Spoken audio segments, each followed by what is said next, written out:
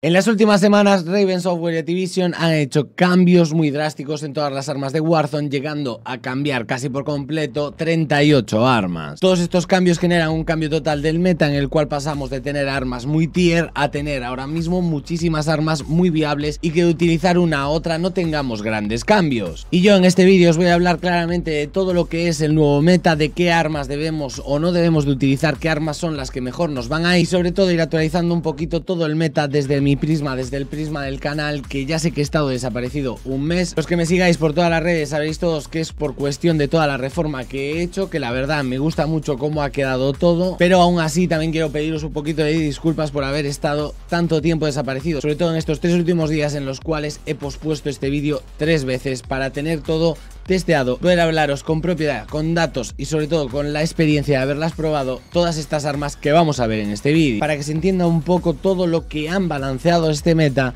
me he ideado esta fórmula en la cual vamos a comparar 5 y 5 subfusiles y después vamos a poner los 5 mejores subfusiles rápidamente a time to kill. Tenemos la arma guerra, la MP40, la Marco 5, la H4 Blixen y la PPSH41 de Vanguard. También aquí estamos viendo la CX9, la MP5 de Cold War, la Type 100, la Bullfrog y la Owen Gun. Y como ya se ve de una forma bastante sencilla, todas las armas se ven muy parejas a excepción de la Type 100 y a excepción por ejemplo de la Sten también que no entra dentro de este vídeo porque es que no se piquea absolutamente nada. Y aquí digamos que os tengo comparado los mejores time to kills para que veáis que pase lo que pase las diferencias no son tan grandes, salvo en el caso de la Type 100. Todas las armas se comportan de una forma muy parecida, la PPSH, la H4 y la MP40, que en momentos una va por encima de la otra, y luego está la Type 100 que va siempre por encima en time to kill, siempre va mejor de time to kill, pero que tiene un cargador muy pequeño y que es un arma muy incómoda para la gran mayoría de jugadores y esto genera que sus tasas de piqueo sean tan tan bajas. Y si en todos esos subfusiles estaba la arma guerra que ha sido recientemente renerfeada, pero que ya os quiero adelantar que sigue siendo viable, aunque de ello hablaremos justo en la clase del arma guerra. Respecto al rango de media y larga distancia os traigo Liena XM4, Autómata, STG y Grau, y lo que ha sucedido con el Liena ha sido algo bastante extraño. Es decir, se saca el Liena y en pocas horas ya se le nerfea el rango largo de distancia. El cambio es el que estáis viendo ahora. Le han quitado 3 puntos de daño al daño mínimo, con lo cual en su rango a media larga distancia le han cambiado bastante el time to kill. Esto se debe a que ha sido un arma que supuestamente se viene a diseñar sobre todo para buscar que se utilice más a medias cortas distancias, es decir, para buscar que llegue incluso a utilizarse como sniper support. Sin embargo, en la larga distancia sigue siendo muy muy buena opción con un time to kill averaje de 950 milisegundos y yo os recomiendo personalmente que la subáis. Aunque bueno, este balanceo yo creo que únicamente se debe a que lo que buscan es tener mucha amplitud de armas para que estemos contentos en este final de temporada. También así nos demuestran que cuando ellos quieran tienen todas las armas totalmente balanceadas. Porque la verdad es que con ese cambio se balancea mucho. Lo que sucedió es que cuando alguien cogía este arma del suelo, estaba reventando muchísimo. También os traigo la comparativa de Cooper Vargo 52, M41 y M13. Y por último, os traería la comparativa en la cual comparamos los mejores time to kills de media y media larga distancia que hay ahora mismo entre todas las armas más piqueadas. Y la Vargo, la XM4, la STG, la Autómata y la Cooper serían unas de las opciones más sólidas para jugar en esta última temporada de Warzone 1. Quiero recordar que cuando os hablo del meta absoluto, estamos hablando de las armas que más se han utilizado y que sacamos las estadísticas de webs como VZ Stats o como Warzone Ranked y demás para saber cuáles son las armas que mayor tasa de piqueo tienen. Por lo tanto, si aquí por ejemplo no ha aparecido por ahora, que sí aparecerá una UGM, es por el hecho de que está teniendo una tasa de piqueo muy baja, es decir, es un arma muy buena, muy viable, muy sólida, pero está muy poco de moda como para ser recomendada como arma meta. Y ahora vamos a ir con las mejores armas de menos a más con las mejores clases, no sin antes recordarte que por favor te suscribas que he estado un mes parado debido al cambio de setup, que me digas si te ha gustado este cambio de setup, si de hecho pues me ves hasta mejor en la cámara porque se ve, y que además hoy empezaré un especial ampliable en twitch.tv barra Games que te invito a que te pases y que todos estos días traeré vídeos del análisis de armas a través de todas las horas y horas y horas que voy a estar jugando a Warzone. Pero en definitiva, que si te suscribes me harás muy feliz. Vamos con la Bullfrog, que es uno de los fusiles que entra entre el top 10 de subfusiles más utilizados últimamente y la verdad es que me sorprende mucho. Yo creo que la Bullfrog es un arma que se está utilizando más, al igual que por ejemplo la Bison, pero que no llega a estar entre estas 10 primeras armas, 10 primeros subfusiles, porque es un rayo láser, es un arma bastante cómoda de utilizar. De hecho, para cualquiera de vosotros si utilizáis una Bison vais a disfrutar bastante. En cuanto a esta Bullfrog, es la clase de siempre, silenciador blue, linterna de equipo tigre, culata espesnas, empuñadura espernas y el cargador ágil de 65 proyectiles. Un caso bastante similar, pero que por características, por estadísticas compite un poquito más, es el caso de la M13, que es un arma que es un láser, que es un arma que tiene una comodidad muy buena. La M13 de siempre, silenciador monolítico, tempos de tirador, la mira la que quieras.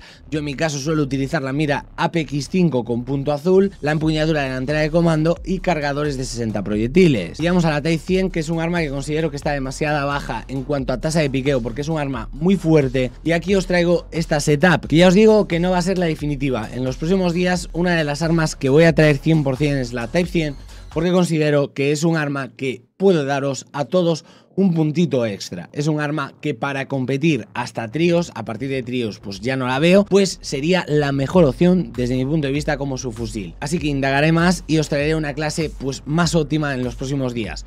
Por ahora, id probando esta a ver qué tal os va. Veo muy clave llevar la prestidigitación y sí utilizar la munición Russian Sword. El resto de accesorios puede ser que mañana o pasado ya os los traiga totalmente definido. Respecto a la M2 quiero decir una cosa muy sorprendente y es que ha sido el fusil de asalto con el que más cómodo me he sentido en estos tres primeros días. La verdad es que he vuelto a un K de bajo, un nivel muy flojo, pero la M2 sí que me ha dado muchísima, muchísima seguridad.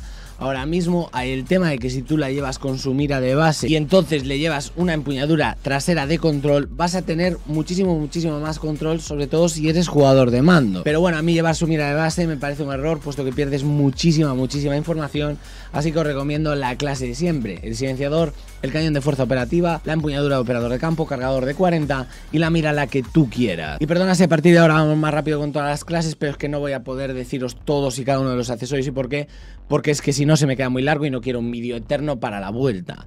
La MP5 de Colwell es un arma en la que se vuelve a confiar, esta es la clase que yo ya os llevo recomendado varias veces, a mí es la que más me gusta, puesto que el cañón de fuerza operativa, a pesar del bufeo a rango de daño que tuvo recientemente, no lo veo al final totalmente necesario. En cuanto a la Vargo 52, para mí es una de las opciones más meta como fusiles ahora mismo. Si yo fuera un torneo estaría en mis tres primeras opciones, aunque ahora mismo aquí no lo esté por tasas de piqueo. En cuanto a la Vargo 52, la empuñadura delantera se puede llevar la rápida espesnas, pero yo recomiendo seguir llevando las espesnas, puesto que el control es brutal. Te da una sensación de que barres a tu oponente. Llegamos a la CX9, que sí que la he testeado, a mí no me da el rendimiento como para estar aquí arriba, pero que la gente está cada vez confiando más en ella. Es un arma que lo que le veo fuerte es que actúa bastante bien en el rango corto de un subfusil y que en el rango largo de un subfusil pues actúa bastante bien también, siendo pues una posible incluso Sniper Support. La setup que yo recomiendo es esta, creo que es la más utilizada además, así que probadla y me decís cómo os va. Con esta CX9 vamos a acompañar la M4A1, donde lo único que os quiero comentar es que la gran mayoría de los jugadores utilizan el cañón M16. Para mí el Corvus va muchísimo mejor, sobre todo si lo vas a utilizar en mapas cortos. Respecto a la PPSH de Vanguard me da una sensación de injusticia. La PPSH de Vanguard compite en Time to Kills, sigue funcionando muy bien, lo que pasa es que como no es esa cosa destructiva que había, no se está utilizando.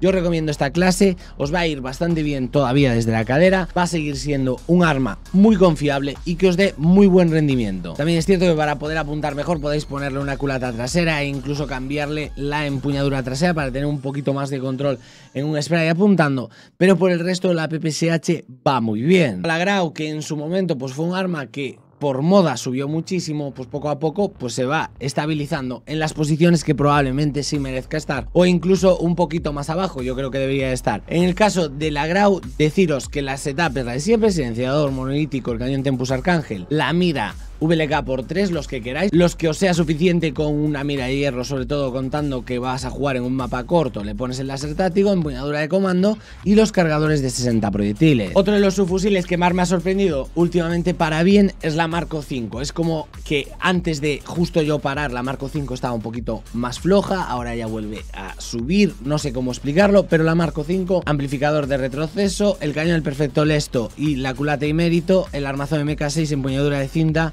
y los cargadores un poquito a tu decisión, aunque yo te recomiendo que lleves la 64 balas. Decir de la Marco 5 que esta setup es un poquito más controlable porque cuando utilicé otras configuraciones que me han pasado, incluso me han pasado chiqui su configuración, lo que sentí es que tenía demasiados botes, tenía un movimiento muy extraño y no quería recomendaros un arma que tuviera ese movimiento. Llegamos al autómata en la cual nunca especificó su clase, lleva mucho tiempo sin cambiar o sin cambiar excesivamente en sus accesorios y que siempre está ahí, siempre está en un rango medio. Los que juguéis autómata os sentiréis con esa sensación cálida de llevar un tiempo pudiéndola jugar, pues podéis seguirla utilizando porque es un arma que compite. En el siguiente loadout vamos a empezar por el fusil, vamos a empezar por la STG-44, que es una de las armas que sí que más compite, que sí que estarían entre las 5 que más compiten ahora mismo en Warzone, y que para mí solo hay una cosa que discuto de la setup, esta es la configuración que más utiliza la gente, que es cambiar el foco por ponerle el vital. El control del retroceso con el foco sí que es cierto que vas a tenerlo un poquito mejor, pero es que el vital te va a dar el mismo time to kill en todos los rangos de distancia de daño y va a ser muy muy cómodo para ti saber con cuántas balas exactas lo vas a batir y sobre todo que en un enfrentamiento en espejo, en un mirror, en el cual tu oponente también lleva una STG, si tú llevas vital vas a tener un pelín más de posibilidades de abatirlo a él. En cuanto a esta clase de H4, la H4 ya siempre os digo que tengo un millón de clases, o sea que yo cada día juego la H4 de una forma yo creo que cada uno de vosotros también habréis jugado muchísimas, muchísimas H4. Lo que pasa es que el otro día J-God sube esta clase de H4 que en realidad, sin perder demasiada movilidad, sin perder demasiado strafe, lo que generas con esta H4 es tener muchísimo, muchísimo más control. Así que os recomiendo que probéis esta setup en la cual volvemos al tope de mano de 1941 y luego le metemos la culata Johnson, es decir, no llevamos la H4 sin culata como siempre. Y llegamos a la carabina Cooper, que esta es la setup más utilizada. Ya os dije, de hecho tenéis el vídeo por ahí, que la carabina Cooper la gente no aprovecha del todo el control de retroceso que se le puede dar teniendo una agilidad mayor. Así que ya sabéis que en mis últimos vídeos tenéis la clase de la carabina Cooper por si queréis utilizar concretamente la mía. Yo os traigo la que más se está utilizando porque, pues entre otras cosas, si yo he parado un mes, pues digo, pues voy a traer primero un poquito lo que juega la gente, luego vamos a marcar ya la diferencia con esas clases más afinadas. De todos modos, respeto a la Cooper, os recomiendo que busquéis ese vídeo porque realmente se nota la diferencia.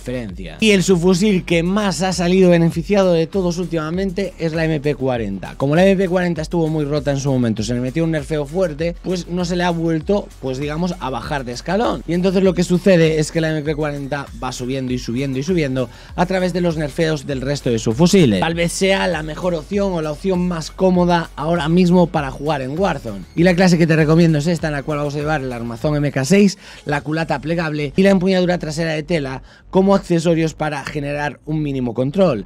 Después vamos a llevar el cañón de 189 y el amplificador de retroceso. Y vamos a las armas más jugadas, es decir, a lo que sí sería teóricamente el meta, pero quiero recordaros que ha recibido esta arma guerra un nerf hace cuestión de 24 o 30 horas en el cual se le cambian dos puntos de daño al daño mínimo. Esto significa que el arma guerra a partir de los 15-16 metros empieza a hacer mucho menos daño que antes. Sin embargo, sigue siendo una opción que podéis utilizar, aunque yo creo que ahora sí que sí, la tasa de piqueo va a bajar porque sí que se nota un poquito más esa diferencia en ese rango de daño. Además, muchos me discutiréis concretamente esta setup, es decir, muchos de vosotros vais a querer llevar el cañón y mérito o el boti para tener un cañón más largo, puesto que este cañón pues ha sido nerfeado.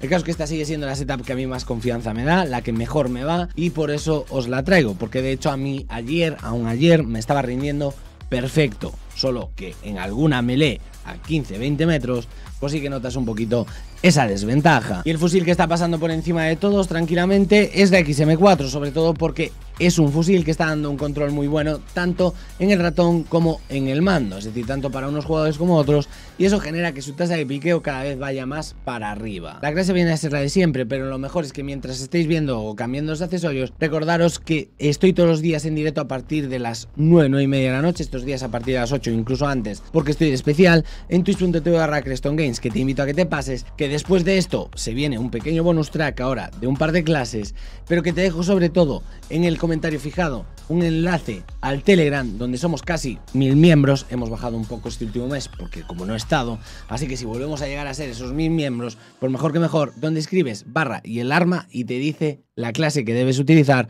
o la clase mejor en mi consideración. Y que si no digo esto me matan, que también estoy en Instagram en arroba Games, que si te quieres pasar, pues genial. Pero lo prometido es deuda, para los que habéis aguantado ese mínimo spam, pues deciros este bonus track. No es el meta ahora mismo de su fusil y fusil, ahora mismo es un meta totalmente abierto, donde las ametralladoras ligeras se pueden utilizar, donde los snipers poco a poco vuelven.